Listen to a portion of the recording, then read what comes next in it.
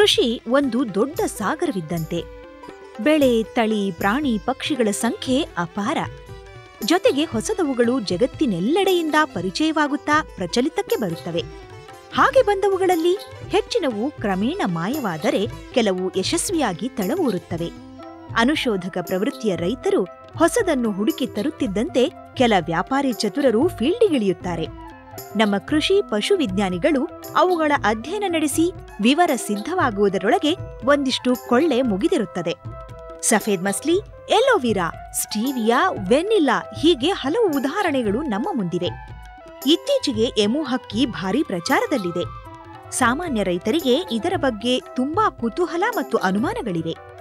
ಹಾಗಾಗಿ ಈ ಕುರಿತ ಲಭ್ಯ ವಿವರಗಳನ್ನು ಸಕಾಲದಲ್ಲಿ ನಿಮ್ಮ ಮುಂದಿಡಲು ಈ ಚಿತ್ರವನ್ನು ನಿರ್ಮಿಸಿದ್ದೇವೆ.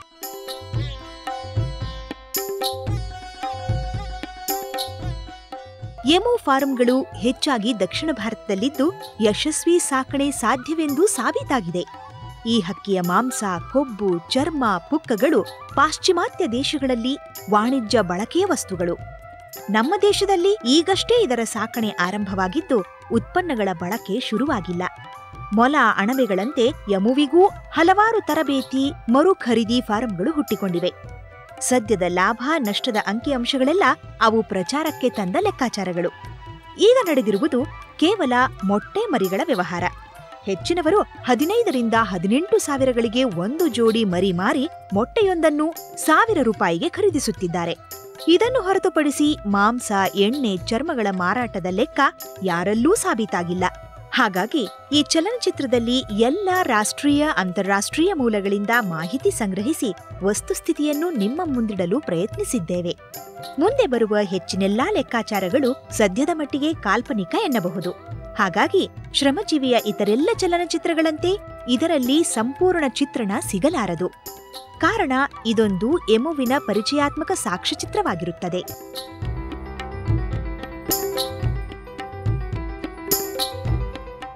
ಮೊದಲಿಗೆ ಯಮು ಪಕ್ಷಿಯ ಪರಿಚಯ ಮಾಡಿಕೊಳ್ಳೋಣ. ಇದು ರ್ಯಾಟೈಟ್ಸ್ ಗುಂಪಿನ ಹಾರಲಾಗದ ಹಕ್ಕಿ.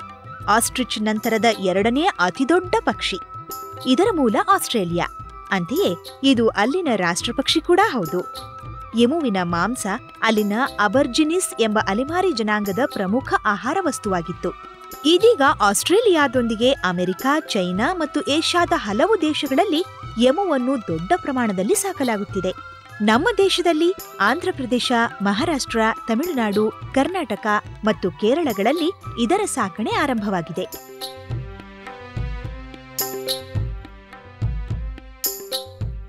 ಈ ಯಮೋ ಹಕ್ಕಿ ಆರಡಿ ಎತ್ತರಕ್ಕೆ ಬೆಳೆಯುತ್ತದೆ.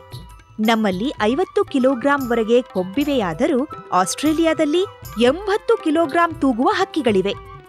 ಆಗ ತಾನೇ ಹುಟ್ಟಿದ ಮರಿಗಳು ಅರ್ಧ ಅಡಿ ಎತ್ತರವಿದ್ದು ಮುನ್ನೂರರಿಂದ ಐನೂರು ಗ್ರಾಂ ತೂಕ ಇರುತ್ತವೆ. ಅವುಗಳ ಮೈಮೇಲೆ ಈ ರೀತಿ ಅಳಿಲಿನಂತೆ ಪಟ್ಟೆಗಳಿದ್ದು ಮೂರು ತಿಂಗಳಿನ ನಂತರ ನಶಿಸುತ್ತದೆ. ಬೆಳೆದ ಹಕ್ಕಿಯ ಮೈತುಂಬ ಇಷ್ಟು ಉದ್ದದ ಮೃದುವಾದ ಪುಕ್ಕಗಳಿದ್ದು ಇಂಥ ಎರಡು ಅತಿ ಚಿಕ್ಕ ರೆಕ್ಕೆಗಳಿವೆ.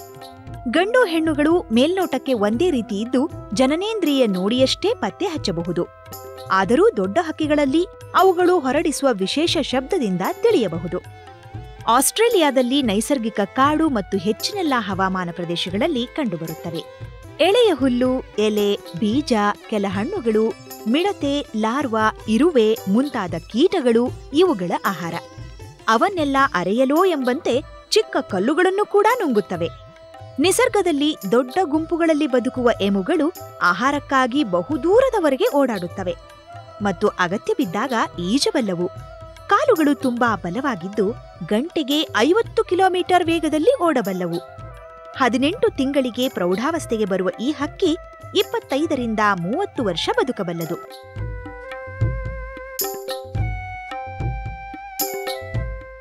ಎಮು ಎರಡು ವರ್ಷದ ಪ್ರಾಯದಲ್ಲಿ ಮೊಟ್ಟೆ ಇಡಲು ಪ್ರಾರಂಭಿಸುತ್ತದೆ. ಚಳಿಗಾಲದಲ್ಲಿ ಹದಿನೈದು ಡಿಗ್ರಿ ಸೆಂಟಿಗ್ರೇಡ್ ಮುಂಜಾನೆಯ ಉಷ್ಣತೆ ಮೊಟ್ಟೆ ಹಾಕಲು ಸೂಕ್ತ. ನಮ್ಮಲ್ಲಿ ಅಕ್ಟೋಬರ್ನಿಂದ ಫೆಬ್ರವರಿ ಅವಧಿಯಲ್ಲಿ ಇದು ಮೊಟ್ಟೆ ಇಡುತ್ತದೆ. ಚಳಿಗಾಲ ಆರಂಭವಾಗಲು ತಡವಾದರೆ ಅಥವಾ ಬೇಗ ಬೇಸಿಗೆ ಆರಂಭವಾದರೆ ಮೊಟ್ಟೆಯ ಪ್ರಮಾಣ ಕಡಿಮೆಯಾಗುತ್ತದೆ. ಮೊದಲ ವರ್ಷ ಹತ್ತರಿಂದ ಹನ್ನೆರಡು ಮೊಟ್ಟೆ ಇಟ್ಟ ಹೆಣ್ಣು ಎಮು ಮುಂದಿನ ವರ್ಷಗಳಲ್ಲಿ ಇಪ್ಪತ್ತೈದರಿಂದ ಮೂವತ್ತು ಮೊಟ್ಟೆ ಕೊಡಬಲ್ಲದು.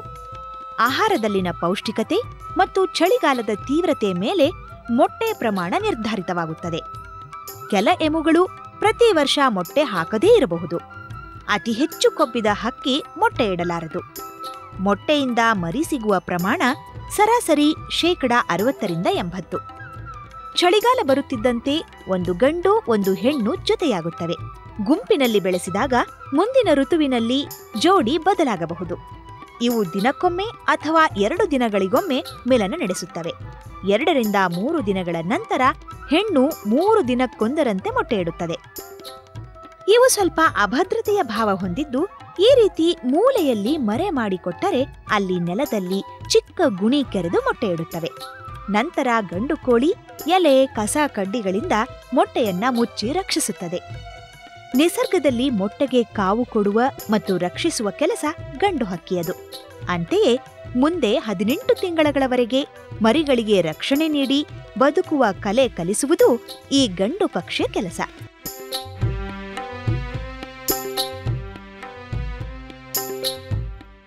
ಇದು ಎಮು ಮೊಟ್ಟೆ. ಸುಮಾರು ಆರ್ನೂರರಿಂದ ಎಂಟುನೂರು ಗ್ರಾಂ ತೂಕವಿರುವ ಈ ಮೊಟ್ಟೆಗಳು ಮರಿಯಾಗಲು ಐವತ್ತೆರಡು ದಿನ ಬೇಕು. ಸಾಮಾನ್ಯ ಉಷ್ಣತೆಯಲ್ಲಿ ಒಂದು ವಾರ ಹಾಳಾಗುವುದಿಲ್ಲ. ಇನ್ನು ಹದಿನಾರು ಡಿಗ್ರಿ ಸೆಂಟಿಗ್ರೇಡ್ ಉಷ್ಣತೆಯಲ್ಲಿ ಹೆಚ್ಚಿನ ಕಾಲ ಇಡಬಹುದು. ಇದು ಮೊಟ್ಟೆಗಳನ್ನು ಸುರಕ್ಷಿತವಾಗಿ ಸಾಗಿಸಲು ಬಳಸುವ ಥರ್ಮಕೋಲ್ ಪೆಟ್ಟಿಗೆ ಇದರಲ್ಲಿಟ್ಟು ಮೊಟ್ಟೆಗಳನ್ನು ಎಷ್ಟು ದೂರ ಬೇಕಾದರೂ ಸಾಗಿಸಬಹುದು. ನಿಸರ್ಗದಂತೆ ನಮ್ಮ ಸಾಕಣೆ ಫಾರ್ಮ್ಗಳಲ್ಲಿ ಗಂಡು ಕೋಳಿ ಕಾವು ಕೊಡುವ ಪ್ರವೃತ್ತಿ ಕಂಡುಬರುವುದಿಲ್ಲ. ಹಾಗಾಗಿ ಈ ಮೊಟ್ಟೆಗಳನ್ನು ಮರಿ ಮಾಡಲು ವಿವಿಧ ಬಗೆಯ ಇನ್ಕ್ಯುಬೇಟರ್ಗಳನ್ನು ಬಳಸಲಾಗುತ್ತದೆ. ಸದ್ಯ ನಮ್ಮಲ್ಲಿ ವ್ಯವಸ್ಥಿತ ಫಾರ್ಮ್ಗಳು ಮಾತ್ರ ಇನ್ಕ್ಯುಬೇಟರ್ ಬಳಸಿ ಮೊಟ್ಟೆಯಿಂದ ಮರಿ ಉತ್ಪಾದಿಸುತ್ತಿವೆ. ಮರಿಗಳನ್ನು ಐದರಿಂದ ಆರು ತಿಂಗಳು ಬೆಳೆಸಿ ರೈತರಿಗೆ ಮಾರಲಾಗುತ್ತದೆ. ಈ ಹಂತ ತುಂಬಾ ಸೂಕ್ಷ್ಮದ ಕೆಲಸವಾಗಿದ್ದು ಪಕ್ಕಾ ತರಬೇತಿ ಮತ್ತು ಹೆಚ್ಚಿನ ಕಾಳಜಿ ಅಗತ್ಯ. ಇದು ವೈಜ್ಞಾನಿಕ ಮಾದರಿಯ ದುಬಾರಿ ಬೆಲೆಯ ಇನ್ಕ್ಯುಬೇಟರ್. ಇನ್ನು ಇದು ಕಡಿಮೆ ವೆಚ್ಚದ್ದು. ಮೂಲ ತತ್ವಗಳಲ್ಲಿ ಎಲ್ಲಾ ಪಕ್ಷಿಗಳ ಇನ್ಕ್ಯುಬೇಟರ್ಗಳು ಒಂದೇ. ರೈತರು ಐವತ್ತು ಸಾವಿರದಿಂದ ಎರಡು ಮೂರು ಲಕ್ಷ ಬೆಲೆಯ ವಿವಿಧ ಮಾದರಿಗಳನ್ನು ವಿನ್ಯಾಸಗೊಳಿಸಿಕೊಂಡಿದ್ದಾರೆ. ಮೊದಲಿಗೆ ಮೊಟ್ಟೆಗಳನ್ನು ಏಳರಿಂದ ಹತ್ತು ದಿನಗಳ ಕಾಲ ಹದಿನೈದು ಡಿಗ್ರಿ ಸೆಂಟಿಗ್ರೇಡ್ ಉಷ್ಣತೆಯಲ್ಲಿ ಸಂಗ್ರಹಿಸಿಡಲಾಗುತ್ತದೆ. ನಂತರ ಇನ್ಕ್ಯುಬೇಟರ್ನಲ್ಲಿ ಮೂವತ್ತೈದರಿಂದ ಮೂವತ್ತಾರು ಡಿಗ್ರಿ ಸೆಂಟಿಗ್ರೇಡ್ ಉಷ್ಣತೆ ಮತ್ತು ನಲವತ್ಮೂರರಿಂದ ನಲವತ್ತೈದು ಶೇಕಡಾ ಆರ್ದ್ರತೆಯಲ್ಲಿ ನಲವತ್ತೆಂಟು ದಿನ ಈ ರೀತಿ ಜೋಡಿಸಿ ಇಡಲಾಗುತ್ತದೆ. ಇಲ್ಲಿ ಥರ್ಮಾಮೀಟರುಗಳನ್ನು ಜೋಡಿಸಲಾಗಿದ್ದು ನಿಗದಿತ ಉಷ್ಣತೆ ಕಾಪಾಡುವುದು ತುಂಬಾ ಮಹತ್ವ. ಇನ್ಕ್ಯುಬೇಟರ್ನಲ್ಲಿ ತಾಸಿಗೊಮ್ಮೆ ಮೊಟ್ಟೆಯ ಟ್ರೇಗಳನ್ನು ಹೀಗೆ ತಿರುಗಿಸುವ ಸ್ವಯಂಚಾಲಿತ ವ್ಯವಸ್ಥೆ ಇರಬೇಕಾಗುತ್ತದೆ. ಉಷ್ಣತೆ ಹೆಚ್ಚಿಸಲು ವಿದ್ಯುತ್ತಿನ ಇಂಥ ಕಾಯಿಲ್ಗಳು ಮತ್ತು ಬಿಸಿ ಗಾಳಿಯನ್ನು ಹರಡಲು ಫ್ಯಾನು ಅಗತ್ಯ. ಇನ್ಕ್ಯುಬೇಷನ್ ಅವಧಿ ಮುಗಿದ ನಂತರ ಮೊಟ್ಟೆಗಳನ್ನು ಹ್ಯಾಚರಿಯ ಈ ರೀತಿಯ ಪ್ರತ್ಯೇಕ ಟ್ರೇಗಳಲ್ಲಿ ನಾಲ್ಕು ದಿನ ಇಡಲಾಗುತ್ತದೆ. ಐವತ್ತೆರಡನೇ ದಿನ ಮರಿಗಳು ತಾವಾಗಿ ಹೊರಬರುತ್ತವೆ. ಕೆಲವೊಮ್ಮೆ ಕಾಲು ಮತ್ತು ತಲೆಯ ಭಾಗದಲ್ಲಿ ಮೊಟ್ಟೆ ಕವಚ ಒಡೆಯಲು ನಮ್ಮ ಸಹಕಾರ ಅಗತ್ಯವಾಗುತ್ತದೆ.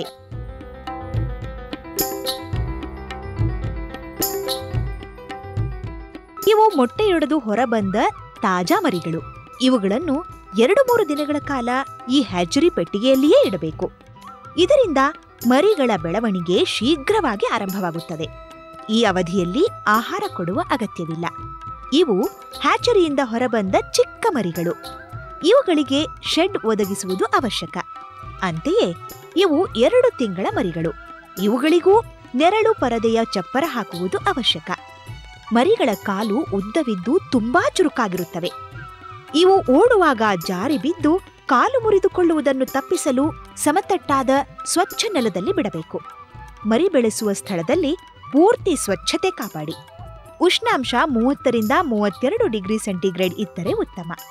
ಕುಡಿಯಲು ಶುದ್ಧವಾದ ನೀರು ಮತ್ತು ತಿನ್ನಲು ಎರಡು ತಿಂಗಳ ಕಾಲ ಆರಂಭಿಕ ಮರಿ ತಿಂಡಿ ಅಥವಾ ಸ್ಟಾರ್ಟರ್ ಮ್ಯಾಶ್ ಅನ್ನು ಕೊಡಬೇಕು. ನಾಲ್ಕು ವಾರಗಳ ನಂತರ ನಲವತ್ತು ಮರಿಗಳಿಗೆ ಸುಮಾರು ಸಾವಿರದ ಇನ್ನೂರು ಚದರಡಿ ಜಾಗ ಬೇಕು. ಓಡಲು ಸಾಕಷ್ಟು ಉದ್ದ ಜಾಗವಿದ್ದರೆ ಕಾಲುಗಳು ಗಟ್ಟಿಯಾಗಿ ಬೆಳವಣಿಗೆ ಆರೋಗ್ಯಪೂರ್ಣವಾಗಿರುತ್ತದೆ.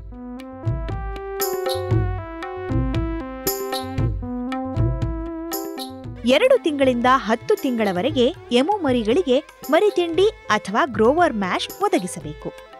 ಈ ಬಗೆಯ ನಿರ್ದಿಷ್ಟ ಆಹಾರಗಳು ಕೋಳಿ ಆಹಾರ ಪೂರೈಕೆದಾರರಲ್ಲಿ ಸಿಗುತ್ತವೆ. ಇವುಗಳ ಅಡಕ ಪೋಷಕಾಂಶಗಳು ನಿರ್ದಿಷ್ಟವಾಗಿದ್ದು ನಿಗದಿತ ತಿಂಡಿ ಕೊಡುವುದು ತುಂಬಾ ಮಹತ್ವ.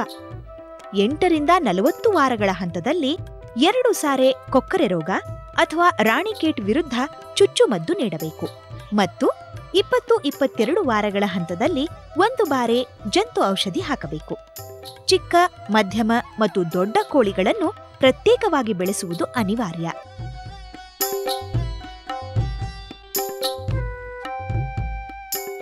ದೊಡ್ಡ ಯಮುಗಳಿಗೆ ಶೆಡ್ ಬೇಕಿಲ್ಲ. ತೆರೆದ ಸ್ಥಳದಲ್ಲಿ ಆರರಿಂದ ಎಂಟು ಅಡಿ ಎತ್ತರದ ಈ ರೀತಿಯ ಜಿಐ ಜಾಲರಿಯ ಬೇಲಿ ಹಾಕಿದರೆ ಸಾಕು. ಬೇಲಿಯ ಒಳಮೈಗೆ ಹರಿತವಾದ ತಂತಿ ತೆರೆದಿರದಂತೆ ಎಚ್ಚರ ವಹಿಸಿ ಎಮು ಸಾಕಣೆಗೆ ಕೆಂಪು ಮಣ್ಣಿನ ನೆಲ ಸೂಕ್ತ. ಕಪ್ಪು ಮಣ್ಣಾದರೆ ಮಳೆಗಾಲದಲ್ಲಿ ಅಂಟಾಗಿ ಕೋಳಿಗಳ ಕಾಲು ಸಿಲುಕಿಕೊಳ್ಳುತ್ತವೆ. ಆದಾಗ್ಯೂ ಕಪ್ಪು ನೆಲದ ಮೇಲೆ ಮರಳಿನ ಅಥವಾ ಕಲ್ಲು ಪುಡಿಯ ಹಾಸು ಹಾಕಿ ಎಮು ಬಿಡಬಹುದು. ನೆಲ ಸಮತಟ್ಟಾಗಿದ್ದು ಕಲ್ಲು ಅಡೆತಡೆಗಳಿರದೆ ಸ್ವಚ್ಛವಾಗಿ ಇರಬೇಕು. ಇಲ್ಲವಾದಲ್ಲಿ ಹಕ್ಕಿಗಳು ಓಡುವಾಗ ತಡವರಿಸಿ ಬಿದ್ದು ಕಾಲು ಮುರಿದುಕೊಳ್ಳಬಹುದು. ಮಳೆಗಾಲದಲ್ಲಿ ನೀರು ನಿಲ್ಲದಂಥ ಜಾಗ ಆಯ್ದುಕೊಳ್ಳಿ. ನೂರು ಅಡಿ ಉದ್ದ ಹಾಗೂ ಐವತ್ತು ಅಡಿ ಅಗಲದ ಸ್ಥಳದಲ್ಲಿ ಹತ್ತು ಜೊತೆ ಎಮು ಸಾಕಬಹುದು. ಉದ್ದ ಇನ್ನೂ ಹೆಚ್ಚಿದ್ದರೆ ಒಳ್ಳೆಯದು. ಅಂಚಿನಲ್ಲೊಂದು ಚಿಕ್ಕ ಶೆಡ್ಡು ನಿರ್ಮಿಸಿದರೆ ರಾತ್ರಿ ವೇಳೆ ಅಥವಾ ತಮಗೆ ಬೇಕೆನಿಸಿದಾಗ ಅಲ್ಲಿ ಆಶ್ರಯ ಪಡೆಯುತ್ತವೆ.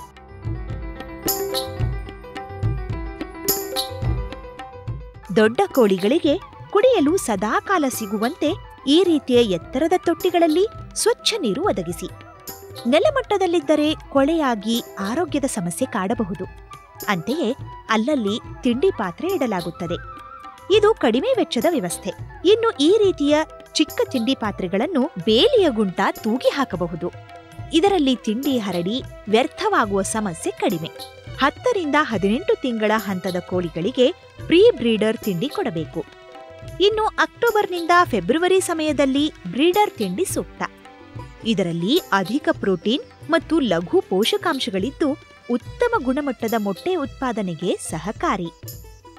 ನಂತರ ಉಳಿದ ದಿನಗಳಲ್ಲಿ ದೊಡ್ಡ ಕೋಳಿಗಳಿಗೆ ನಿರ್ವಹಣಾ ತಿಂಡಿ, ಅಂದರೆ ಮೇಂಟೆನೆನ್ಸ್ ಫೀಡ್ ನೀಡಿದರೆ ಸಾಕು. ದಿನಕ್ಕೆ ಎರಡು ಬಾರಿ, ಅಂದರೆ ಮುಂಜಾನೆ ಮತ್ತು ಸಾಯಂಕಾಲ ನಿರ್ದಿಷ್ಟ ಸಮಯದಲ್ಲಿ ಹಿಂಡಿ ಹಾಕಬೇಕು. ಒಟ್ಟಾರೆ ದಿನಕ್ಕೆ ಒಂದು ಕೋಳಿಗೆ ಏಳ್ನೂರ ಐವತ್ತು ಗ್ರಾಂನಿಂದ ಒಂದು ಕಿಲೋಗ್ರಾಂನಷ್ಟು ಆಹಾರ ಅಗತ್ಯ. ಸದ್ಯ ಈ ಹಿಂಡಿಗಳಿಗೆ ಕಿಲೋಗ್ರಾಂಗೆ ಹನ್ನೆರಡರಿಂದ ಹದಿನೈದು ರೂಪಾಯಿ ಬೆಲೆ ಇದೆ. ಇದರೊಂದಿಗೆ ಬಲಿತ ಆದರೆ ಹಣ್ಣಾಗಿರದ ಪಪ್ಪಾಯಗಳನ್ನು ಸಿಪ್ಪೆ ಕೆತ್ತಿ ಕತ್ತರಿಸಿ ತಿನ್ನಿಸಬಹುದು ಅಲ್ಲದೆ ಪಾಲಕ್, ಕ್ಯಾರೆಟ್, ಸೌತೆಕಾಯಿ, ಮತ್ತಿತರೆ ತರಕಾರಿಗಳು, ಅಜೋಲಾ ಲೂಸರ್ನ್ ಮುಂತಾದವುಗಳನ್ನು ಕೂಡ ನೀಡಬಹುದು. ಕೆಲ ರೈತರು ತಮ್ಮಲ್ಲಿ ಲಭ್ಯವಿರುವ ಕಡಿಮೆ ಬೆಲೆಯ ಚಿಕ್ಕುವಿನಂಥ ಹಣ್ಣನ್ನು ಸಹ ಕೊಡುತ್ತಾರೆ. ಚಿಕ್ಕ ಮರಿಗಳಿಗೆ ಕ್ಯಾರೆಟ್ ಮತ್ತು ಬೀಟ್ರೂಟ್ ಒಳ್ಳೆಯದು. ಒಟ್ಟು ಆಹಾರದಲ್ಲಿ ಶೇಕಡಾ ಮೂವತ್ತರವರೆಗೆ ಹಸಿ ವಸ್ತು ಬಳಸಬಹುದು. ಇದರಿಂದ ಖರ್ಚಿನಲ್ಲಿ ಉಳಿತಾಯ ಸಾಧ್ಯ ಮತ್ತು ಕೋಳಿಯ ಆರೋಗ್ಯಕ್ಕೂ ಒಳ್ಳೆಯದು. ಎಮು ಕೋಳಿಗಳಿಗೆ ಇತರೆ ಸಾಕು ಪ್ರಾಣಿಗಳಂತೆ ಮೈ ತೊಳೆಸುವ ಅಗತ್ಯವಿಲ್ಲ. ಆದಾಗ್ಯೂ, ಉರಿ ಬೇಸಿಗೆಯಲ್ಲಿ ನೀರು ಸಿಂಪಡಿಸಿದರೆ ಎಲ್ಲ ಒಂದೆಡೆ ಸೇರಿಕೊಂಡು ಆನಂದಿಸುತ್ತವೆ. ಹಾಗಾಗಿ ವಾರಕ್ಕೊಮ್ಮೆ ಈ ರೀತಿ ಸ್ನಾನ ಮಾಡಿಸಬಹುದು. ಬಿರುಬಿಸಿಲು ಮತ್ತು ದೊಡ್ಡ ಮಳೆಯಲ್ಲಿ ಕೂಡ ತೆರೆದ ಸ್ಥಳದಲ್ಲಿ ಓಡಾಡಿಕೊಂಡಿರುತ್ತವೆ. ದಿನಕ್ಕೊಂದೆರಡು ಬಾರಿ ಕೋಳಿಗಳ ಹಿಕ್ಕೆ ಸ್ವಚ್ಛಗೊಳಿಸುತ್ತಿರಬೇಕು. ನೋಡಿ, ಈ ಹಕ್ಕಿಯ ಬಾಯಿ ಎಷ್ಟು ದೊಡ್ಡದಾಗಿದೆ! ಇದರಿಂದಾಗಿ ಉದುರಿದ ಚಿಕ್ಕ ತೆಂಗಿನ ಮಿಳ್ಳೆ ಮತ್ತು ಉಳ್ಳಾಗಡ್ಡೆ ಗಾತ್ರದ ಕಲ್ಲುಗಳನ್ನೂ ನುಂಗಲು ಯತ್ನಿಸುತ್ತವೆ. ಆಗ ಗಂಟಲು ಕಟ್ಟಿ ಹಕ್ಕಿ ಸಾಯುವ ಸಾಧ್ಯತೆ ಇದೆ. ಹಾಗಾಗಿ ಇಂಥ ವಸ್ತುಗಳು ಇರದಂತೆ ಎಚ್ಚರ ವಹಿಸಿ.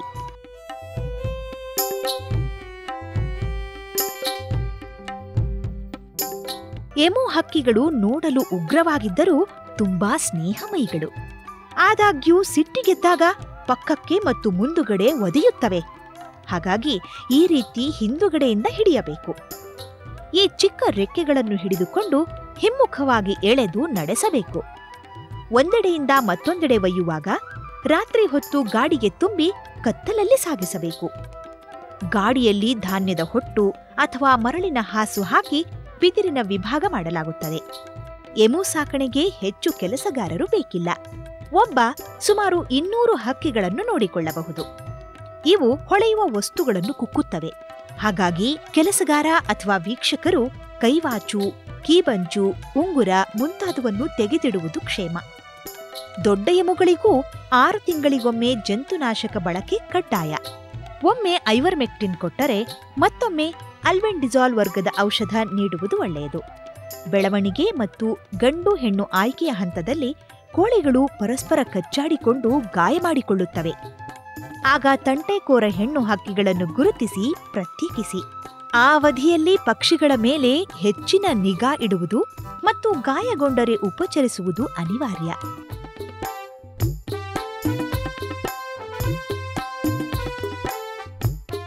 ಪ್ರಸ್ತುತ ಆರು ತಿಂಗಳ ಎಮು ಮರಿಗಳ ಬೆಲೆ ಜೋಡಿಗೆ ಹದಿನೈದರಿಂದ ಇಪ್ಪತ್ತು ಸಾವಿರ ರೂಪಾಯಿಗಳು.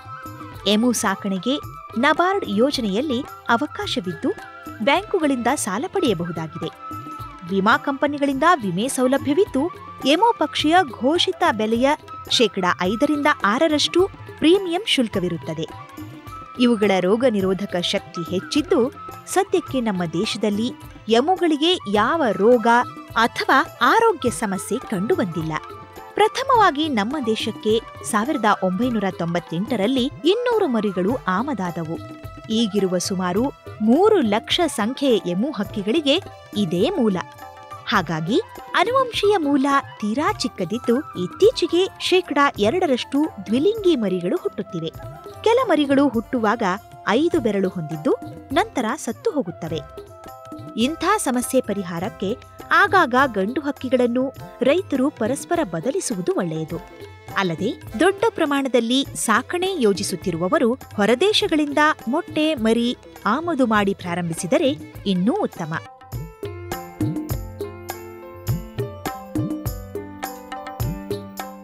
ಇದೀಗ ಎಮು ಹಕ್ಕಿಯ ಉಪಯೋಗಗಳನ್ನು ನೋಡೋಣ. ಇದರ ಮಾಂಸ ಆಕರ್ಷಕ ಕೆಂಪು ಬಣ್ಣದಲ್ಲಿ ಇರುತ್ತದೆ. ಇದು ಶೇಕಡಾ ತೊಂಬತ್ತೆಂಟರಷ್ಟು ಕೊಬ್ಬುರಹಿತವಾಗಿದ್ದು, ಒಂದು ಆರೋಗ್ಯಪೂರ್ಣ ಮಾಂಸಾಹಾರ ಎನ್ನಬಹುದಾಗಿದೆ. ಚೆನ್ನಾಗಿ ಪೂರ್ತಿ ಬೆಳೆದ ಒಂದು ಏಮು ಹಕ್ಕಿ ನಲವತ್ತರಿಂದ ಐವತ್ತು ಕಿಲೋಗ್ರಾಂ ತೂಗುತ್ತದೆ. ಇದರಿಂದ ಶೇಕಡಾ ಐವತ್ತರಷ್ಟು, ಅಂದರೆ ಇಪ್ಪತ್ತರಿಂದ ಇಪ್ಪತ್ತೈದು ಕಿಲೋಗ್ರಾಂ ಶುದ್ಧ ಮಾಂಸ ಸಿಗುತ್ತದೆ. ಸದ್ಯ ಅಂತಾರಾಷ್ಟ್ರೀಯ ಮಾರುಕಟ್ಟೆಯಲ್ಲಿ ಒಂದು ಕಿಲೋಗ್ರಾಂ ಎಮು ಮಾಂಸಕ್ಕೆ ಇನ್ನೂರ ಐವತ್ತರಿಂದ ಮುನ್ನೂರು ರೂಪಾಯಿ ಬೆಲೆ ಇದೆ.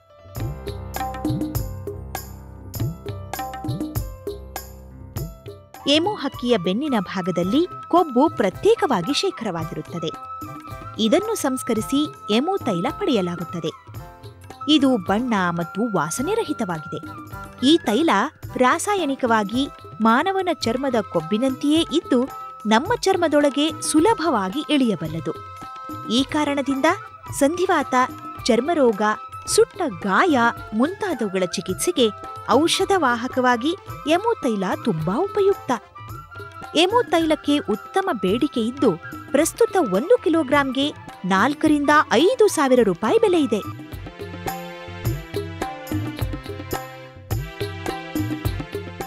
ಎಮು ಪಕ್ಷಿಯ ಚರ್ಮದ ಗಾಳಿಯಾಡುವಿಕೆ ಹೆಚ್ಚಾಗಿರುವುದರಿಂದ ಉತ್ತಮ ಗುಣಮಟ್ಟದ್ದಾಗಿದೆ. ಒಂದು ಹಕ್ಕಿಯಿಂದ ಆರರಿಂದ ಎಂಟು ಚದರಡಿ ಚರ್ಮ ಸಿಗುತ್ತದೆ. ಇದರ ಕಾಲಿನ ಚರ್ಮವು ಮೊಸಳೆಯ ಚರ್ಮದಂತಿದ್ದು ಚಾಕು, ಖಡ್ಗಗಳ ಹಿಡಿಕೆ, ಶೂಗಳ ಮೇಲ್ಭಾಗ ತಯಾರಿಕೆಗೆ ಬಳಕೆಯಾಗುತ್ತದೆ. ಇನ್ನು ಎಮುವಿನ ಪುಕ್ಕದಲ್ಲಿ ತೈಲಾಂಶ ಸಾಕಷ್ಟಿದೆ ಮತ್ತು ತುಂಬಾ ಮೃದುವಾಗಿದೆ. ಇದರಿಂದ ಬ್ರಷ್ ತಯಾರಿಸಲಾಗುತ್ತಿದ್ದು, ಅದು ಕಂಪ್ಯೂಟರ್ ಮತ್ತಿತರ ಎಲೆಕ್ಟ್ರಾನಿಕ್ ಉಪಕರಣಗಳನ್ನು ಸ್ವಚ್ಛಗೊಳಿಸಲು ಉಪಯುಕ್ತ. ಇವುಗಳಲ್ಲದೆ ಯಮುವಿನ ಮರಿಯಾಗದ ಮೊಟ್ಟೆ ಕವಚ ಮತ್ತು ಉಗುರುಗಳು ಕೂಡ ವಿವಿಧ ಅಲಂಕಾರಿಕ ವಸ್ತುಗಳಿಗೆ ಬಳಕೆಯಾಗುತ್ತಿವೆ. ನೆನಪಿಡಿ, ದೇಶೀಯವಾಗಿ ಇವ್ಯಾವುದಕ್ಕೂ ಬೇಡಿಕೆಯಿಲ್ಲ. ರಫ್ತು ಸಾಧ್ಯವಾದರೆ ಮತ್ತು ಸಾಧ್ಯವಾದಾಗ ಮಾತ್ರ ಈ ಎಲ್ಲಾ ಲೆಕ್ಕಾಚಾರಗಳು ನಿಜವಾಗುತ್ತವೆ.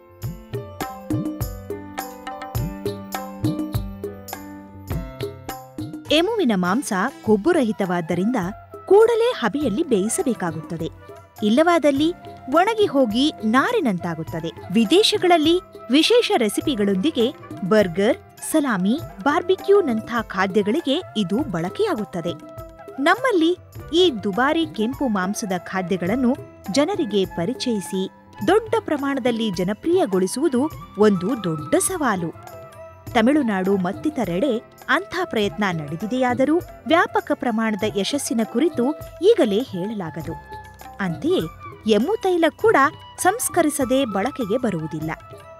ಇವುಗಳಿಗೆ ವಿದೇಶಿ ಮಾರುಕಟ್ಟೆ ಮಾತ್ರ ಸದ್ಯದ ವ್ಯಾಪಾರಿ ತಾಣ. ರಫ್ತು ಮಾಡುವವರು ಮಾಂಸ, ತೈಲ, ಚರ್ಮ, ಪುಕ್ಕಗಳ ಸಂಸ್ಕರಣೆಗೆ ಅಂತಾರಾಷ್ಟ್ರೀಯ ತಂತ್ರಜ್ಞಾನದೊಂದಿಗೆ ಸಂಸ್ಕರಣೆ ಮತ್ತು ಪ್ಯಾಕಿಂಗ್ ಘಟಕ ಸ್ಥಾಪಿಸುವುದು ಅನಿವಾರ್ಯ. ಅಷ್ಟಕ್ಕೂ ಇಂಥ ಒಂದು ಘಟಕವನ್ನು ಒಂದು ದಿನ ನಡೆಸಲು ಕನಿಷ್ಠ ಸಾವಿರ ಹಕ್ಕಿಗಳು ಬೇಕು. ಇವೆಲ್ಲ ಸಾಧ್ಯವಾಗದಿದ್ದರೆ ಎಮು ಹಕ್ಕಿಯ ವ್ಯವಹಾರ ಹೆಚ್ಚು ಕಾಲ ನಡೆಯಲಾರದು.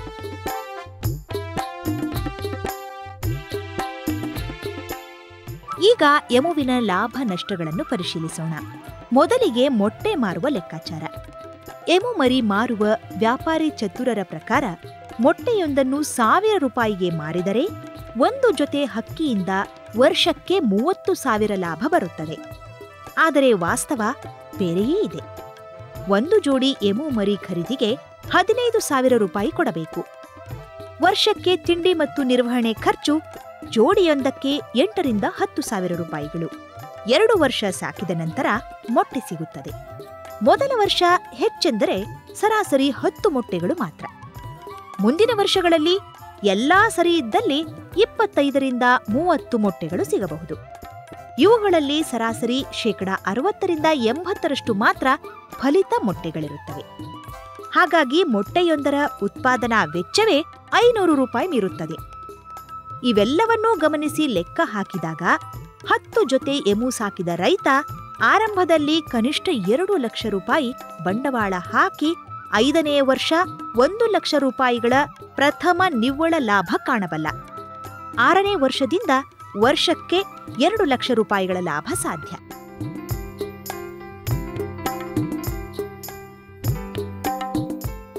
ಈಗ ಇನ್ಕ್ಯುಬೇಟರ್ ಇಟ್ಟುಕೊಂಡು ಮರಿ ಮಾಡಿಸಿ ಮಾರುವ ಲೆಕ್ಕವನ್ನು ಪರಿಶೀಲಿಸೋಣ.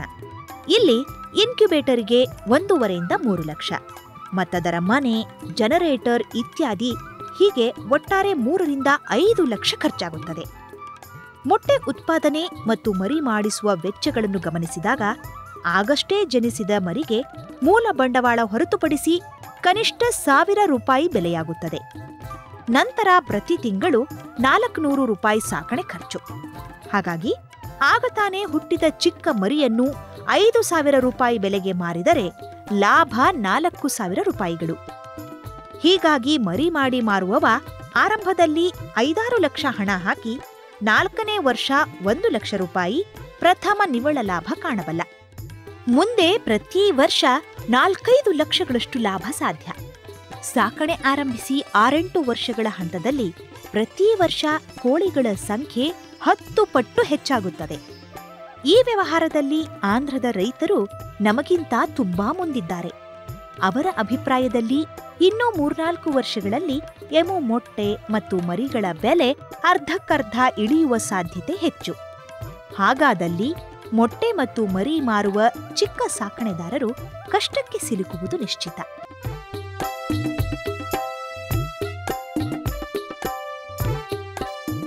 ಇನ್ನುಳಿದ ಆಯ್ಕೆಯೆಂದರೆ ದೊಡ್ಡ ಪ್ರಮಾಣದಲ್ಲಿ ಎಮು ಸಾಕುವುದು ಮತ್ತು ಅಂತಾರಾಷ್ಟ್ರೀಯ ಗುಣಮಟ್ಟದ ಸಂಸ್ಕರಣ ಘಟಕ ಸ್ಥಾಪಿಸಿ ಸ್ವತಃ ರಫ್ತು ವ್ಯವಹಾರ ಆರಂಭಿಸುವುದು.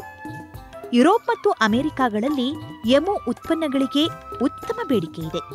ಹಲವಾರು ಪರವಾನಗಿಗಳು ಮತ್ತು ಭಾರೀ ಬಂಡವಾಳ ಬೇಕಿರುವ ಈ ಪ್ರಯತ್ನ ಕಷ್ಟವೆಂದಾದರೂ ಅಸಾಧ್ಯವೇನಲ್ಲ. ಕೇವಲ ಒಂದು ಜೋಡಿ ಎಮುವಿನಿಂದ ಆರಂಭಿಸಿದರೂ ಏಳನೇ ವರ್ಷಕ್ಕೆ ಮುನ್ನೂರ ಐವತ್ತು ಜೋಡಿ ಅಭಿವೃದ್ಧಿಯಾಗಿರುತ್ತವೆ. ಆದರೆ ಅಷ್ಟು ವರ್ಷದ ನಿರ್ವಹಣೆಗೆ ಐವತ್ತು ಲಕ್ಷ ರೂಪಾಯಿ ಖರ್ಚಾಗುತ್ತದೆ. ಎಂಟನೇ ವರ್ಷಕ್ಕೆ ಪಕ್ಷಿಗಳ ಸಂಖ್ಯೆ ಮೂರು ಸಾವಿರದ ಐನೂರು ಜೋಡಿಗಳಾಗಿ ನಿರ್ವಹಣೆಗೆ ಸುಮಾರು ಮೂರು ಕೋಟಿ ರೂಪಾಯಿಗಳು ಬೇಕು. ಆದರೆ ಅವುಗಳ ಉತ್ಪನ್ನಗಳ ರಫ್ತು ಸಾಧ್ಯವಾದರೆ ಖರ್ಚಿನ ಹತ್ತು ಪಟ್ಟು ಆದಾಯವಿದೆ.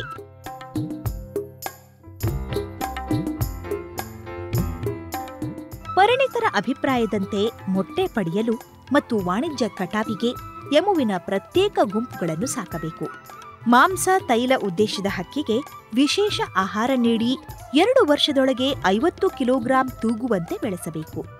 ಇಂಥ ಒಂದು ಕೋಳಿಯಿಂದ ಇಪ್ಪತ್ತೈದು ಕಿಲೋಗ್ರಾಂ ಸಂಸ್ಕರಿತ ಮಾಂಸ ಮತ್ತು ಐದು ಕಿಲೋಗ್ರಾಂ ತೈಲ ಸಿಗುತ್ತದೆ. ಪ್ರಸ್ತುತ ಅಂತಾರಾಷ್ಟ್ರೀಯ ಬೆಲೆಯಲ್ಲಿ ಇಂಥ ಒಂದು ಹಕ್ಕಿಯಿಂದ ಮೂವತ್ತರಿಂದ ಮೂವತ್ತೈದು ಸಾವಿರ ರೂಪಾಯಿ ಆದಾಯ ಗಳಿಸಬಹುದು. ದೊಡ್ಡ ಬೆಳೆಗಾರರು ಒಟ್ಟಾಗಿ ಅಥವಾ ಕೋಳಿ ಉದ್ಯಮದಂತೆ ವ್ಯವಸ್ಥಿತ ಕಂಪನಿಗಳು ಕಾರ್ಯಾಚರಣೆಗೆ ಇಳಿಯಬೇಕು. ಚಿಕ್ಕ ಪುಟ್ಟ ರೈತರು ಅವರಿಂದ ಮರಿಪಡೆದು ಬೆಳೆಸಿ ವಾಪಸ್ ಮಾರಬೇಕು. ಜಾಗತಿಕ ಮಾರುಕಟ್ಟೆಯಲ್ಲಿ ಎಮುವಿಗೆ ಇರುವ ಅವಕಾಶ ಗಮನಿಸಿದರೆ ಭವಿಷ್ಯದಲ್ಲಿ ಇಂಥ ಯೋಜನೆ ಖಂಡಿತ ಸಾಕಾರವಾಗಲಿದೆ. ಎಮು ಉತ್ಪನ್ನಗಳಿಗೆ ಆಂತರಿಕವಾಗಿ ದೊಡ್ಡ ಪ್ರಮಾಣದಲ್ಲಿ ಬೇಡಿಕೆ ಕುದುರಿಸುವುದು ಕಷ್ಟ ಸಾಧ್ಯವಾದ್ದರಿಂದ ಕೇವಲ ಚಿಕ್ಕ ಸಾಕಣೆದಾರರು ಎಷ್ಟೇ ಹೆಚ್ಚಾದರೂ ಎಮು ಸಾಕಣೆಗೆ ಭವಿಷ್ಯವಿಲ್ಲ.